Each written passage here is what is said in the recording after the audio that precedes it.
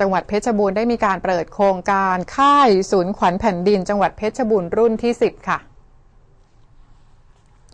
นายสนั่นพงศ์อักษรปลัดจังหวัดเพชรบูรณ์เป็นประธานเปิดโครงการศูนย์ขวัญแผ่นดินจังหวัดเพชรบูรณ์รุ่นที่ 10 ที่ตำบลเสดียงอำเภอเมืองจังหวัดเพชรบูรณ์ เพื่อต้องการให้กลุ่มเป้าหมายสามารถลดละการใช้ยาเสพติด จนสามารถหยุดหรือเลิกยาเสพติดได้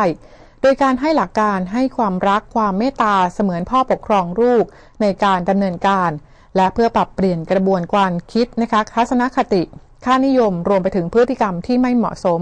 ให้แสดงออกมาได้อย่างเหมาะสม